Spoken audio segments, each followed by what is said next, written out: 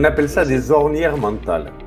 Euh, quand vous conduisez une voiture, euh, s'il y a des ornières sur la route, votre voiture va s'engouffrer facilement dans ces ornières-là. C'est plus vous qui pilotez, c'est les ornières. Et vous suivez le sillon.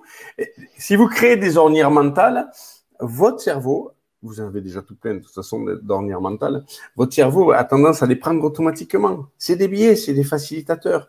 Donc, créez-en, plutôt que ce soit votre environnement qui les crée pour vous, puisque de toute façon vous allez en créer, autant que ce soit vous qui les créez. Soyez maître de votre destin.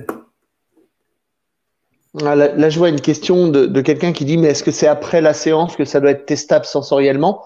Ben, Je vais vous dire c'est pendant et après la séance.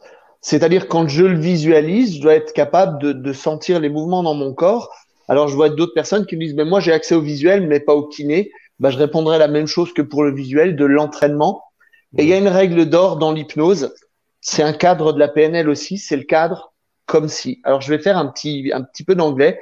En anglais, on dit fake it till you make it. Fais semblant jusqu'à ce que ça devienne ta réalité.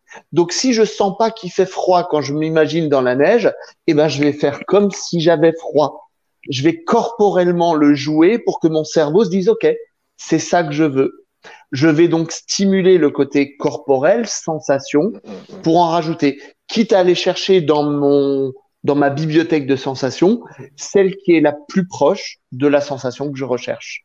Faire semblant jusqu'à ce que ça devienne votre réalité. C'est un peu la règle d'or en hypnose, en auto-hypnose, en coaching, en développement personnel, en fait, dans tout ce qui est de l'ordre de l'esprit et du corps, faites semblant. Pour une fois qu'on a le droit de faire semblant. Ouais.